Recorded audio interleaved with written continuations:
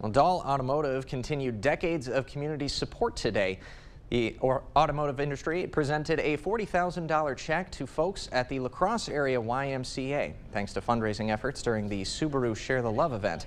So according to Dahl Automotive's president, with every Subaru they sold during the holidays, both Subaru of America and Dahl Subaru donated funds to the Y. The Dahl family has helped the Y for decades, and one employee of the Y says a lot of programs of theirs wouldn't be possible without that continued support. This support means everything to us. We can't operate all of the programs that we do without the help of um, the Dahl family, and so we're very, very grateful. So this donation will support multiple programs like its flexible spending program and childcare.